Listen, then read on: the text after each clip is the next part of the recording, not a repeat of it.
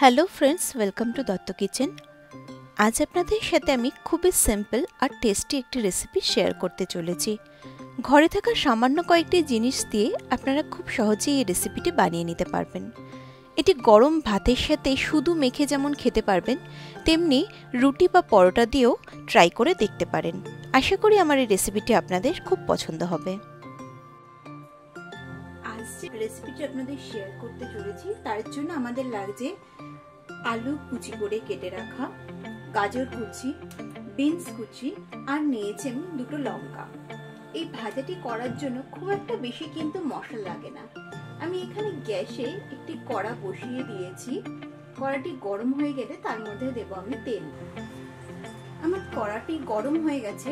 এই গরম কড়ার মধ্যে আমি দিয়ে দিলাম সাদা তেল। এর মধ্যে দিয়ে দিচ্ছি আমি কালো জিরে হাফ টিস্পুন। আপনাদের যদি কালো জিরের ফ্লেভারটা ভালো না লাগে, তাহলে স্কিপ করে যাবেন। দিয়ে দিলাম চিড়ে রাখা কাঁচা লঙ্কা দুটি আর নুন হলুদ মাখানো আলু। আলুটা দিয়ে এবার আমি ভেজে নেব। যেহেতু আলু একটু শক্ত হয়, সেই জন্য আমি গাজর বিনসের আগে আলুটা একটুখানি দিয়ে নিলাম। দিয়ে দু থেকে তিন মিনিট আলুটা আমি ভেজে নিলাম আমাদের আলুটা অনেকটাই ভাজা হয়ে এসছে। এই অবস্থায় মিশিয়ে দিচ্ছি আমি আমাদের গাজর আর বিনস।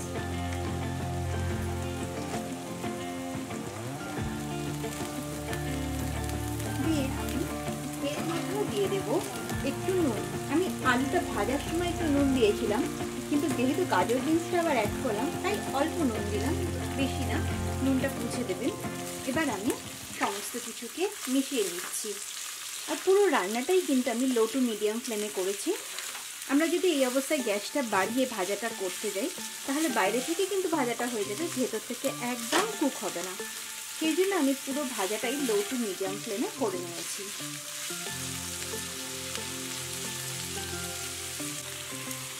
কন্টিনিউয়াস কিন্তু ভাজাটাকে নাড়তে হবে। বেশিক্ষণ আমরা না নেড়ে থাকব না, তাহলে কড়ার নিচে লেগে যাওয়ার চান্স থাকবে। এই অবস্থায় এসে মিশিয়ে দিচ্ছি আমি গুঁড়ো লঙ্কা ওয়ান ফোর টিস্পুন অবশ্যই ঝালটা আপনারা আপনাদের স্বাদ অনুযায়ী দেবেন।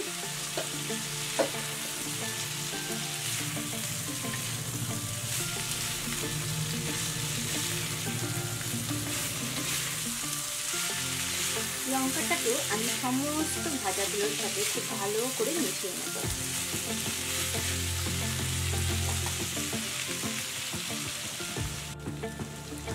আমি আবারও একটু ভাজাটাকে নেড়ে দেব। দেখে নিশ্চয়ই বুঝতেই পারছেন, ভাজাটা আগের তুলনায় অনেকটাই কমে এসছে। তার মানে আমাদের ভাজাটা কিন্তু প্রায় হয়ে এসছে। তবে বিনসগুলো একটু শক্ত আছে, ওই জন্য আমি আবারও একটু ঘুরিয়ে দিলাম। এরমভাবে কন্টিনিউয়াস আমাদের ভাজাটাকে কিন্তু নেড়ে যেতে হবে।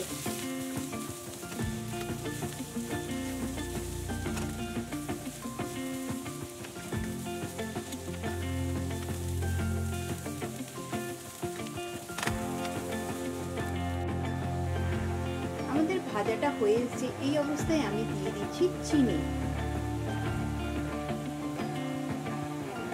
ওয়ান টিস্পুন আমি চিনি দিলাম।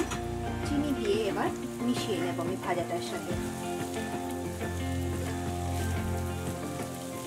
আপনারা যদি চিনি না পছন্দ করেন, তাহলে অবশ্যই চিনি আর লঙ্কাটাকে আপনারা স্কিপ করে যেতে পারেন।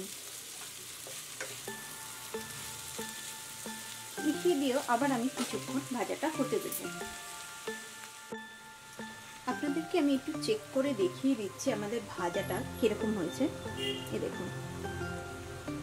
একদম আলুটা সুন্দরভাবে কেটে গেল। আমি কিন্তু বেশি জোরও দিইনি। আর এরকম গাজরটাও কেটে যাচ্ছে। এই দেখুন। হালকা হাতে আমি জাস্ট প্রেস করেছি। আর দেখুন বিনসগুলোও একদম নরম হয়ে গেছে। তার মানে কিন্তু আমাদের ভাজা একদম তৈরি।